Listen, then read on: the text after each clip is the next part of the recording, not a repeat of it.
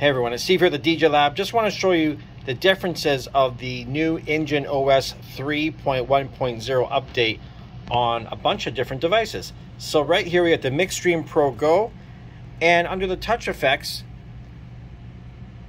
you only have one, two, three, four effects that you can use. Here on the Denon DJ Prime Go, you have everything. You got one, two, three, four, five, six, seven, eight, nine, ten. 10 effects. Here on the Prime 4, you also have the same 10 effects.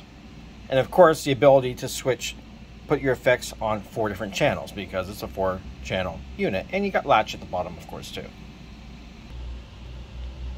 And finally, on the SC6000M, you also have 10 effects and you can put it on either layer A or B. And the other difference is you have the mute. So when you're doing an effect like an echo type thing, you can press and hold that mute button and let it echo out.